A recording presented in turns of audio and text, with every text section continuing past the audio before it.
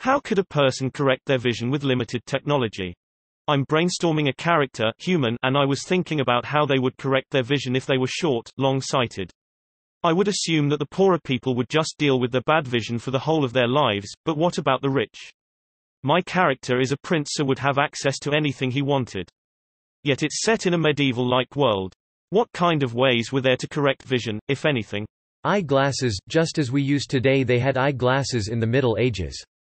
Here is a 14th-century picture of the 13th-century Cardinal Hugh of St. Cher wearing eye-glasses.